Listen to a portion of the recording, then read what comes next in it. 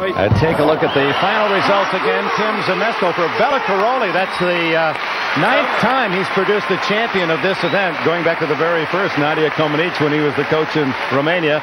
Onodi, Miller, and Ristova finished second, third, and fourth in the women's competition. And Jarrod Hanks has his first major title as an American gymnast. The 22-year-old Oklahoma Sooner. Karbanenko, the 18-year-old Russian, is second. Keswick ties him for second place. And Luis Lopez of Mexico and University of New Mexico finishes fourth. Kim Zmeskal, Jarrod Hanks are the champions in 1992. And we'll look forward to those uh, faces uh, just as uh, happy when we go to Barcelona in late July.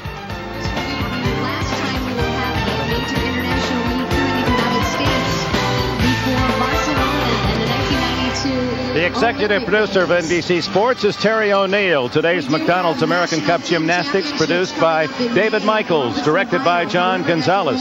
Update show produced by Glenn Adamo. Update show directed by Kelly Atkinson. Technical directors Mitch Geller and Richard Sansevier. Join NBC Sports tomorrow starting at 12:30 Eastern for an NBA doubleheader. First, Michael Jordan leads the world champion Chicago Bulls into the city of brotherly love to face Charles Barkley and the 76ers. Then in game two, Isiah Thomas and the Pistons travel to Los Angeles to face the Lakers. Join Marv Albert, Mike Fratello, and Magic Johnson for that game. All the action kicks off NBA Showtime. Bob Costas and Quinn Buckner tonight on NBC. Golden Girls, don't miss the premiere of a new Norman Lear program, The Powers That Be. Empty Nest and Sisters round out our NBC schedule. This is Dick Enberg. So long from Orlando.